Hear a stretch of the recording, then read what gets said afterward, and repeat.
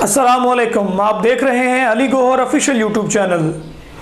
ملک بھر میں کرونا کے بڑھتے ہوئے خطرات کے پیش نظر، سندھ اور پنجاب میں مکمل طور پر لاک ڈاؤن ہے۔ بات کریں اگر فیصل آباد کی تو فیصل آباد میں بھی مکمل لاک ڈاؤن ہے۔ تمام تجارتی اور کاروباری مراکز بند ہیں۔ شہریوں کو گھروں میں رہنے اور احتیاطی تدابیر پر عمل کرنے کے حوالے سے ہدایات جاری کی جا رہی ہیں۔ لیکن فیصل آباد کے شہری اس اہم موڑ پر بھی اس کرونا وائرس کو سنجیدہ لینے کے لیے تیار نہیں ہے ملک بھر میں کرونا کے مریضوں کی تعداد چودہ سو سے تجاوز کر چکی ہے، جبکہ گیارہ ہلاکتیں بھی ہو چکی ہیں۔ اس حوالے سے ہم نے خصوصی سیگمنٹ ریکارڈ کیا ہے deputy secretary general Majlis Wahdat Muslimeen doctor Iftikhar Hussain Naqvi سے۔ ان کا یہ کہنا ہے کہ کرونا کو شکست دینے کے لیے ہمیں حکومت کے ساتھ چلنا ہوگا، اس مشکل گھڑی میں قوم کے ساتھ کھڑا ہونا ہوگا۔ اور ساتھ ساتھ ان کا یہ بھی کہنا ہے کہ جو سابق استاد اور مخیر حضرات ہیں، وہ آگے آئیں۔ اور غذائی قلت پیدا نہ ہونے دے لوگوں تک راشن اور خوراک کا بندوبست جو ہے وہ ڈور ٹو ڈور پہنچانے کے حوالے سے اقدامات کریں۔ اس حوالے سے ان کا یہ کہنا ہے کہ مجلس وحدت المسلمین اس حوالے سے خصوصی اقدامات کر رہی ہے۔ اس حوالے سے ان کا مزید کیا جانا ہے؟ آئیے جانتے ہیں اس سیگمنٹ میں۔ بسم اللہ الرحمن الرحیم۔ میں یہاں پہ یہ عرض کرنا چاہتا ہوں کہ آج ہم کنتینہ سینٹر میں گئے اور وہاں وزٹ کیا ہے جو زائرین تفتان بارڈر سے یا فیصل آباد ایگریکلچر یونیورسٹی کے پارس کیمپس میں لائے گئے ہیں۔ ان کی تعداد تقریباً ڈیڑھ سو کے قریب ہے۔ اور اس وقت تک جو صورتحال ہے، اس میں تمام جو زائرین ہیں، وہ ایکٹیو نظر آ رہے ہیں۔ ان کے اندر کوئی اس قسم کا شبہ نہیں ہے۔ تاہم انتظامیہ کی طرف سے ان کے بلڈ سیمپلز لے لیے گئے ہیں اور وہ لیبارٹری ٹیسٹ کے لیے بھجوا دیے گئے ہیں۔ جیسے ہی لیبارٹری ٹیسٹ کی رپورٹس آئیں گی تو اس میں پتہ چل جائے گا کہ ان کے اندر کرونا وائرس ہے یا نہیں ہے۔ اور اگر کسی ظاہر کے درمیان میں کرونا وائرس ڈیٹیکٹ ہوتا ہے پازیٹیو آتا ہے، تو اسے فوری طور پر وہاں سے الگ کر دیا جائے گا۔ ان لوگوں سے جن کے اندر کرونا وائرس نہیں ہے۔ انظامی حوالے سے ڈسٹرک گورنمنٹ میں ڈی سی صاحب نے اے سی صاحب اور ہمارے دیگر جو پولیس انتظامیہ، ایس ایس پی صاحبان اور سی پی او صاحب، آر پی او صاحب، کمشنر صاحب، خصوصی توجہ ہے اس معاملے کے اوپر اور انہوں نے شب و روز کوشش کر کے ایک خوبصورت انتظام کیا ہے۔ وہاں پہ باقاعدہ اس کے جو ہائیجینک رولز ہیں، ان کا بھی خیال رکھا گیا ہے، ڈسٹنس کا بھی خیال رکھا گیا ہے۔ اور اس قسم کا کوئی خدشہ کسی کو نہیں ہونا چاہیے کہ یہاں سے کوئی کرونا وائرس خدا نخواستہ فیصل آباد کے لیے کوئی خطرہ بنے گا۔ کیونکہ تمام جو سیفٹی میئرز ہیں وہ وہاں پہ پورے کیے گئے اور اس میں کوئی ایسی ابہام یا ایسی کوئی بات نہیں ہونی چاہیے کہ اس وائرس کا کوئی اگر خدا نخواستہ کوئی نکل بھی آتا ہے تو اس کا افیکٹ فیصل آباد شہر پہ ہوگا۔ انتظامات بہت اچھے ہیں۔ لوگ ابھی ہیلدی ہیں اور ہم امید کرتے ہیں کہ ان کے درمیان کرونا وائرس بھی نہیں ہوگا۔ جی اس سلسلے میں میں عرض کروں، دیکھیے ڈیمانڈ اور سپلائی کا اصول ہے کہ جب کسی چیز کی ڈیمانڈ بڑھتی ہے سپلائی کم ہوتی ہے تو آٹومیٹکلی اس کے ریٹس بڑھ جاتے ہیں۔ تو یہ ایک نیچرل فینامینا ہے، اس کو ہم نے بہت سارا منفی پروپوگنڈا اس کے اوپر لوگوں نے کیا۔ اگرچہ اس میں کچھ لوگ یا کچھ کالی بیڑیں یا کچھ انسانیت سوز لوگ ضرور موجود ہوں گے کہ جو اس وقت یہاں سے پیسہ کمانا چاہتے ہیں اور پھر اسی پیسے سے وہ نیکی کے کام کرنا چاہتے ہیں تو خداوند مطال ان کو ہدایت دے۔ لیکن عمومی طور پر ہم یہ دیکھ رہے ہیں کہ فیصل آباد میں جو مخیر حضرات ہیں وہ بڑھ چڑھ کر اس معاملے پر ان لوگوں کی خدمت کے لیے تیار ہیں۔ کم از کم میرے واٹس ایپ پہ چار سے پانچ میسیج ایسے آ چکے ہیں جس میں مختلف مخیر حضرات نے اپنے ٹیلی فون نمبرز دیے ہیں اور انہوں نے سپیشل یہ ریکویسٹ کی ہے کہ دہاڑی دار لوگ جو ہیں، اگر ان کو روزگار نہیں مل رہا اور ان کو کھانے کا راشن وغیرہ چاہیے، تو وہ ان نمبرز پہ رابطہ کر سکتے ہیں۔ تو یہ بلیسنگ ہے شہر کے اوپر، یہ رحمت ہے اور ان لوگوں کی مہربانی ہے جن کو خداوند مطال نے مال سے نوازا ہے۔ تو ہم نہیں سمجھتے کہ یہاں پہ اس قسم کا کوئی مسئلہ پیدا ہوگا۔ دیکھیے، اب مسئلہ یہ ہے، مسئلے کو سمجھنے کی ضرورت ہے۔ مسئلہ یہ ہے کہ ہم ایک عالمی وبا کا شکار ہو گئے ہیں۔ اور یہ وبا اتنی خطرناک ہے کہ اتنی تیزی سے پھیلتی ہے کہ اگر خدا نہ خواستہ ایک دفعہ اس کا عمل شروع ہو جائے تو پھر اس کو روکنا ناممکن ہو جاتا ہے۔ جیسا کہ ہم نے دنیا کے دیگر دیگر ممالک، امریکہ کو دیکھ لیں، آپ اٹلی کو دیکھ لیں، جرمن کو دیکھ لیں اسپین کو دیکھ لیں یہ جب وبا پھیلتے ہیں تو پھر اس کے لیے اس کا کنٹرول کرنا جو ہے وہ مسائل کا۔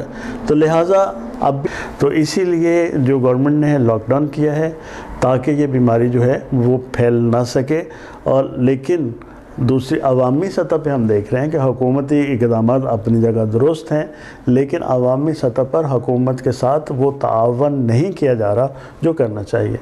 ہم آج بھی دیکھ رہے ہیں کہ بہت ساری ایسی جگہ ہیں جہاں پہ لوگ ہجوم کی صورت میں اکٹھے ہیں۔ بہت ساری ہم اب بھی سڑکوں کے اوپر ٹریفک دیکھ رہے ہیں، لوگوں کی مومنٹس دیکھ رہے ہیں۔ ان مومنٹس کو رکنا چاہیے۔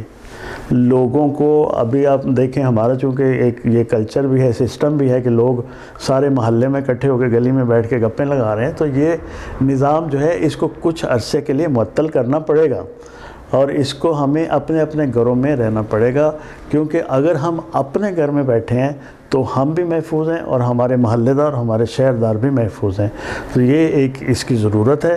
اگر عوامی سطح پر یہ شعور بلند نہیں ہوتا اور لوگ اس سلسلے میں تعاون نہیں کرتے، تو میں حکومت پاکستان سے یہ اپیل کروں گا کہ اس کے اوپر سختی کی جائے اور سختی سے ان ہدایات پر عمل درآمد کرایا جائے۔ اور اگر ضرورت پڑے کہ کرفیو لگانا ہے تو اس کو بھی لگانا چاہیے کیونکہ اس مورزی مرض سے لڑنا اور بچنا بہرحال بہت ضروری ہے۔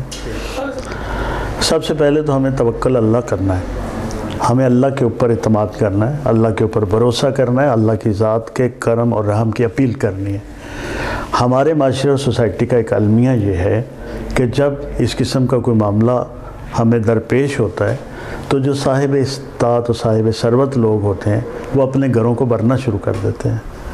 اور جس کی ضرورت ہوتی ہے فرض کریں ایک ہزار روپے کی سامان سے اس کا ایک دس دن، پندرہ دن اس کے نکل جاتے ہیں، تو وہ کوشش کرتا ہے کہ میں پانچ ہزار کا سامان اکٹھا خرید کے گھر میں رکھ لوں۔ جس کی وجہ سے ظاہر ہے کہ وسائل وہی ہوتے ہیں، لیکن ان میں کمی پیدا ہو جاتی ہے۔ اور جو لوگ زیادہ افورڈ نہیں کر سکتے جنہوں نے روز کا روز محنت کرنی ہوتی ہے اور روز کا روز خریدنا ہوتا ہے، ان کے لیے مسائل پیدا ہو جاتے ہیں۔ تو اس اس لیے اس وجہ سے پھر جب کوئی ایسی اپرچونٹی آتی ہے جہاں پہ ہمیں کچھ کم قیمت پہ، کم پیسوں پہ کچھ سہولت ملتی ہے تو پھر ساری عوام جو ہے اس طرف متوجہ ہو جاتی ہے اور اس کو حاصل کرنے کی کوشش کرتی ہے۔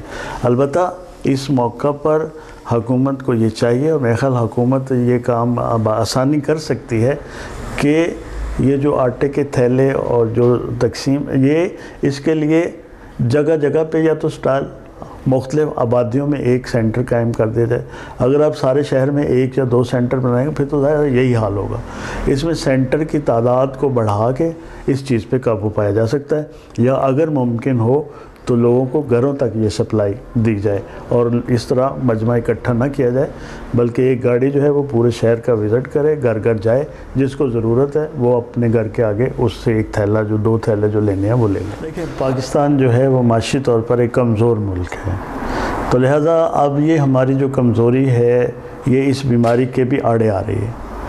اب ہم اگر مکمل لاک ڈاؤن کرنا چاہتے ہیں تو وہ بھی نہیں کر پا رہے کہ ہمارا جو لوگ ہیں، وہ کھانا کیسے کھائیں گے؟ تو یہ ایک کرٹیکل صورتحال ہے۔ اس صورتحال کو مد نظر رکھتے ہوئے مجلس عبادت مسلمین نے جو ہے حفاظتی تدابیر کے طور پر کل جو ہے وہ ماسک اور سینیٹائزرز تقسیم کیے ہیں شہریوں کے درم اور ایک آگاہی مہم جو ہے وہ مسلسل مجلس بات مسلمین کی طرف سے عوام الناس تک ہے، جو کہ فزیکل بھی ہے اور سوشل میڈیا پہ بھی ہے۔ اور جس میں ہم کوشش کر رہے ہیں کہ عوام کو اویئرنیس دیں اور اس کے غیر سنجیدہ رویے کو سنجیدگی میں تبدیل کریں تاکہ ہم اس بیماری سے محفوظ رہ سکیں۔ آج ہم کرنطینیہ جو کرنطینہ بنا ہے ادھر جنگ روڈ پہ ایگریکلچر یونیورسٹی پارس کیمپس میں ہم نے وہاں پہ بھی وزٹ کیا ہے۔ اور الحمدللہ مجلس عبادت مسلمین کی طرف سے وہاں پہ ہم نے جوس اور دودھ کے پیکٹس جو ہیں وہاں پہ تقسیم کیے ہیں۔ تو اپنی استطاعت و قوت کے مطابق انشاءاللہ ہم کوشش یہ کریں گے کہ جو ہم کھا رہے ہیں وہ ہمارے اہل وطن اور اہل شہر جو ہیں، وہ ان کو بھی نصیب ہو۔ اور انشاءاللہ اس کوشش میں جس حد تک ہمارے لیے ممکن ہوا، جتنے وسائل خدا بند مطال نے ہمیں دیے، ہم ان کو بھرپور استعمال کریں گے۔ جی بالکل آپ صحیح فرما رہے ہیں۔ اصل میں اس وقت ہم بارہا جگہ پہ اس بات کا اعادہ کر چکے ہیں کہ جو بھی حکومتی اقدامات ہیں، ہم ان کی بھرپور تعید کرتے ہیں۔ اور یہ وہ وقت ہے جس میں ہم حکومت کے ساتھ شانہ بشانہ کھڑے ہیں۔ اور انشاءاللہ جو بھی اقدامات حکومت کرے گی، ہم اس کے لیے ہراول دستے کا کردار ادا کریں گے۔ ہمارے نوجوان متوجہ ہیں، ہمارے نوجوان آلریڈی اس کے اوپر ورکنگ کر رہے ہیں، کام کر رہے ہیں۔ اور ہماری ایک ذیلی تنظیم ہے، امامیہ اسٹوڈنٹس آرگنائزیشن وہ بھی اس سلسلے میں متحرک ہے۔ اس کا باقاعدہ ایک سکاؤٹ گروپ ہے، جو لوگوں کو اس بیماری کے بارے میں اویئرنیس دے رہا ہے اور بتا رہا ہے۔ باقی جہاں تک تعلق ہے کہ ان دوستوں اور ساتھیوں کا ہماری ایک پوری ٹیم ہے فیصل آباد کے اندر، مجلس وادت مسلمین کی پوری کابینہ ہے، اس کے یونٹس ہیں، اس کا پورا نیٹ ورک ہے اور وہ سب دوست ہمارے ساتھ چل رہے ہیں۔ لیکن ایک نام میں ضرور یہاں پہ لینا چاہوں گا کہ میں یہ سمجھتا ہوں کہ میرا دایاں بازو بھی ہے اور مجلس وادت مسلمین کے لیے ایک بہت بڑی سپورٹ بھی ہے اور ہمیشہ میرے اس دوست بھائی کی شفقت بھی رہی ہے، محبت بھی رہی ہے۔ ان کا نام ہے ڈاکٹر رانا انعام مان صاحب۔ رانا انعام مان صاحب نے جو ہے ہمیشہ ہر محاذ پہ ہمیں حوصلہ بھی دیا ہے، ساتھ بھی دیا ہے، ہمارے ساتھ چلے بھی ہیں۔ تو ان کا میں بے حد مشکور ہوں۔ لیکن اس کے ساتھ ساتھ ہمارے جو باقی تنظیمی عہدیداران ہیں، ہمارا پورا سیٹ اپ الحمدللہ یہاں پہ موجود ہے۔ اور ہم ہر شعبے میں یہاں پہ موجود ہیں اور الحمدللہ ہم ایک عرصہ سے اس ملک کی خدمت کر رہے ہیں، عوام کی خدمت کر رہے ہیں۔ اور انشاءاللہ آئندہ بھی یہ سلسلہ جاری رہے گا۔ ہم دیکھ رہے ہیں کہ کسی جو سیاسی پوائنٹ سکورنگ کی ضرورت نہیں ہے۔ کیونکہ ہم ایک آفت، ایک مصیبت یا اس کو اگر اور بہت بڑا لوگ جو لفظ استعمال کرتے ہیں، عذاب جو ہے وہ نازل ہے۔ لیکن میں اس کو آزمائش کہتا ہوں کہ یہ قوموں کی آزمائش ہوتی ہے اور یہ ہماری قوم کی بھی کرونا وائرس کے سلسلہ میں ایک آزمائش ہے۔ یقیناً جتنی پارٹیاں ہیں، اگر ہم ان کو تسلیم کریں، تب بھی نہ کریں، تب بھی ان کا وجود ہے۔ اور جس چیز کا وجود ہوتا ہے، ظاہر ہے اس کے فالورز بھی ہوتے ہیں، اس کے جاننے والے، اس کے ماننے والے بھی ہوتے ہیں۔ تو یہ بات بہت اہم ہے کہ اس وقت جو حکومتی پارٹی کے ساتھ ساتھ اپوزیشن کی جو پارٹیاں ہیں، اس میں جو بڑی پارٹیاں ہیں، اس میں پیپلز پارٹی ہے، یا مسلم لیگ کاف ہے، یا مسلم لیگ نون ہے، یا دیگر جماعتیں جو ہیں جو پاکستان کے اندر سیاست کرتی ہیں اور حکمرانی بھی کر چکی ہیں۔ اس وقت سب کا ایک ہی ویژن ہونا چاہیے، سب کا ایک ہی نظریہ ہونا چاہیے، سب کی ایک ہی کوشش ہونی چاہیے کہ ہم جتنی جلدی ممکن ہو سکے کرونا وائرس سے اپنے ملک اور قوم کو نجات دلا سکیں۔ یہی ہماری بقا ہے۔ اگر پاکستان میں پاکستانی بچیں گے تو انشاءاللہ سیاست بھی چلتی رہے گی، اپوزیشن بھی ہوگی، حکومت بھی ہوگی، لیکن اگر خدا نخواستہ یہاں کوئی انسانی المیہ اس وبا کی صورت میں پیدا ہو گیا تو پھر ساری کی ساری چیزیں وہیں دری رہیں گی۔ تو لہٰذا یہ خوشائن بات ہے، سیاستدانوں کو اس وقت متحد اور متفق ہونا چاہیے اور اس وقت پورے ملک کا وہ خواہ گورنمنٹ میں ہے، خواہ پرائیویٹ اداروں میں ہے، خواہ وہ ایک فرد ہے یا ایک سب کا جو ٹارگٹ اور ہدف جو ہے وہ یہ ہونا چاہیے کہ ہم نے کرونا کو شکست دینی ہے اور انشاءاللہ ہم کرونا کو شکست دیں گے۔ میں علی بھائی عرض کروں کہ بات یہ ہے کہ جو آپ بات کر رہے ہیں، وہ یقیناً ہے موجود۔ معاشرے کے اندر ایسے لوگ ہوتے ہیں، لیکن ان کی تعداد بہت کم ہے۔ نہ ہونے کے برابر ان کی تعداد ہے۔ میں خود بہت سارے علماء اکرام سے ملا ہوں اور ان سے گفتگو ہوئی ہے، بلکہ ہم دو پلیٹ فارم جو ہیں، وہ بیک وقت اس حوالے سے چلا بھی رہے ہیں، جس میں بین المسالک رواداری کونسل اور بین المذاہب رواداری کونسل جو ہے، بین المذاہب میں تمام مذاہب کے لوگ ہیں، بین المسالک میں تمام مسالک کے لوگ ہیں، اور ہم نے میٹنگز بھی کی ہیں، اجلاس بھی کیے ہیں، اور اس بات کی ہم نے تعید کی ہے کہ حکومت پاکستان کی طرف سے جو جو اقدامات تجویز کیے گئے ہیں وہ مناسب ہیں اور اس مسئلے پر جو ماہرین ہیں، جو ڈاکٹر ہیں، جو سائنٹسٹ ہیں، جو اس بیماری کو سمجھتے ہیں، ان کی رائے حتمی ہے۔ اور اس کی ان کی رائے کو ماننا ہمارے لیے ایسی ہے جیسے ایک واجب عمل ہے۔ تو اس میں ایسا کوئی ایشو نہیں ہے۔ میں ہر کچھ لوگوں نے یہ خرابی کرنے کی کوشش کی تھی لیکن میرا خیال ہے کہ ان کی بھی طبیعت ٹھیک ہو گئی ہے۔ اب آئندہ وہ ایسی باتیں نہیں کریں گے۔ جو دعائیہ کلمات کے حوالے سے میں بس یہی دعا کروں گا۔ خدا بند متعال سے کہ قرآن سے رہنمائی لیں۔ اپنے اپنے گھروں میں گوشہ قرآن ایک خوبصورت سا چھوٹا سا ایریا اس کو سجائیں اور وہاں پہ خوبصورت انداز میں قرآن پاک کو رکھیں اور اس کو پڑھیں اور خدا سے توبہ و استغفار کریں، جس میں مزہ بھی آئے گا اور اللہ تعالیٰ اپنی رحمت بھی کرے گا۔ اور خدا بند مطال سے میری یہ دعا ہے کہ یا اللہ پاک، تو اپنی رحمت پہ نظر رکھ، ہمارے گناہوں پہ نظر نہ رکھ۔ جب تو اپنی رحمت پہ نظر رکھے گا، اگرچہ ہم بہت گناہ گار ہیں، اگرچہ ہم بہت خطا گار ہیں لیکن جب تو اپنی رحمت کو دیکھے گا تو یقیناً ہمارے گناہ کم نظر آئیں گے، ہماری خطائیں کم نظر آئیں گی۔ اور چونکہ یہ ایک ازمائش ہے اور خدا بند مطال خود قرآن میں یہ فرماتا ہے کہ میں اپنے بندوں کو ازماؤں گا۔ خوف سے، ڈر سے، ان کے جان سے، ان کے مال سے تو یہ ایک ازمائش ہے۔ اور پھر اللہ پاک فرماتا ہے کہ جو اس ازمائش میں کامیاب ہوں گے، کون کامیاب ہوں گے؟ جو صابرین ہوں گے، جو صبر کریں گے۔ جو صبر کریں گے وہ کامیاب ہوں گے اور جو کامیاب ہوں گے ان کے لیے خدا بند مطال نے اپنا انعام جنت کی بشارت دی ہے۔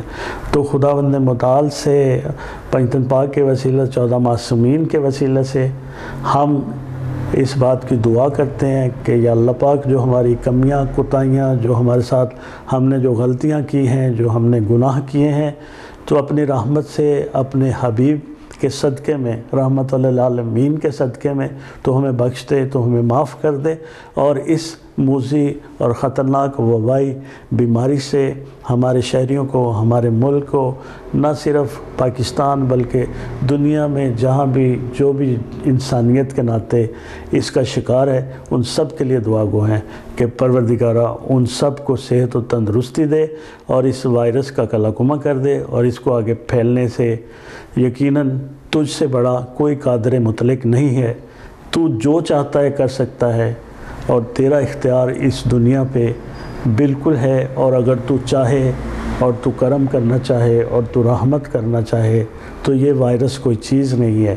اس وائرس کا تیری رحمت کے مقابلے میں کوئی مقابلہ نہیں ہے اور ہم تیری رحمت سے نا امید اور مایوس نہیں ہیں، بلکہ ہم امیدوار ہیں۔ اس کے باوجود ہم گناہ گار ہیں، ہم خطا کار ہیں، ہم تسلیم کرتے ہیں یا اللہ، لیکن ہم تیری رحمت سے مایوس نہیں ہیں اور ہم اس بات کا اعلان کرتے ہیں کہ ہم گندے ہیں، ہم مندے ہیں، لیکن ہے تیرے بندے اور تو ہمیں قبول کر لے اور تو ہمیں معاف کر دے اور اپنی رحمت سے دنیا کو ایک دفعہ پھر امن اور سکون اور اس بیماری سے نجات دے دے۔ السلام علیکم ورحمۃ اللہ۔